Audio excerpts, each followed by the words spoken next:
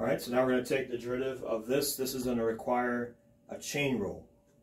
So in fact, it's going to require a double chain rule. So first, let's take care of the outside one. So this, there's a fourth power, so that four is going to come down, and then we'll make that a 3. So that's the first thing we're going to do. So uh, the we have a 3 out there. Let me bring the 4 down in front like this. We have sine of 2x. Now this becomes a third power. So 4 comes down and then subtract 1.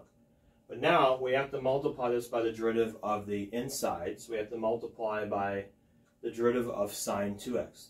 The derivative of sine is going to be cosine 2x. But don't forget also, this is the second chain rule you have to do. We do the derivative of the outside, which is cosine, and then derivative of the inside, which is going to be a 2. So that's the that's what the whole thing looks like. 4 comes down, subtract 1. Inside is still the same here. Then you have to take the derivative of sine. So if we just had the derivative of sine 2x separately, the answer would just be this one here. It's the derivative of sine is cosine, the derivative of the inside is a 2. So now we're going to put all this together.